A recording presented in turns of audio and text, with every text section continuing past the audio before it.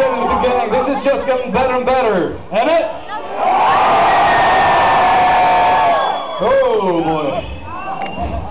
You know what? This place sold out like two months ago. We did good. Oh. There were a lot of people that didn't uh, get to see us here tonight. At the 013.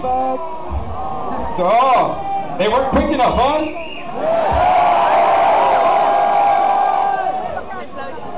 Well, anyway, we're going to give you a little bit of an uh, advantage on the next gig that we're going to do in Holland because we um, are going to announce our first gig for 2010 here tonight.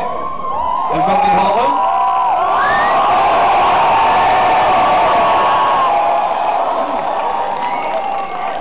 On the 27th of March.